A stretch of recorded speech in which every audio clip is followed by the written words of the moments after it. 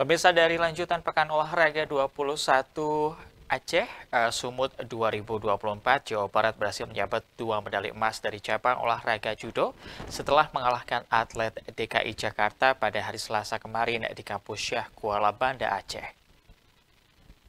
Dari lanjutan Pekan Olahraga ke-21 Aceh Sumut 2024, Jawa Barat berhasil menyabet dua medali emas dari cabang olahraga judo setelah mengalahkan atlet DKI Jakarta pada hari Selasa 10 September 2024 di kampus Syah Kuala Bandar Aceh.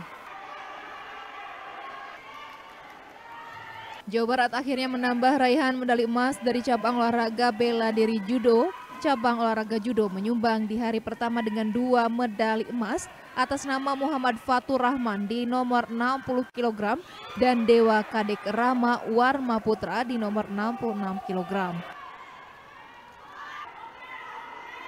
Sebenarnya cabang olahraga judo bisa menyumbang 5 medali, namun di partai final Muhammad Rizki nomor 55 kg, Windy Ardana nomor 40 kg dan Zovanis nomor 52 kg tidak dapat mengimbangi atlet DKI Jakarta, akhirnya Jawa Barat hanya bisa meraih dua medali emas.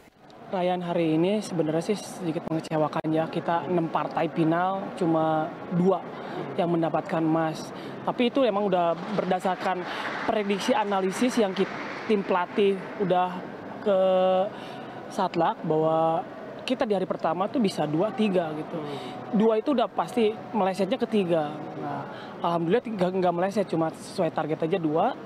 Uh, harusnya tiga sih yang tadi kelas minus lima lima. Harusnya itu kelasnya besar mungkin non teknis apa atlet tersebut bisa ah beli luar prediksi langsung kalah dengan Ipong gitu.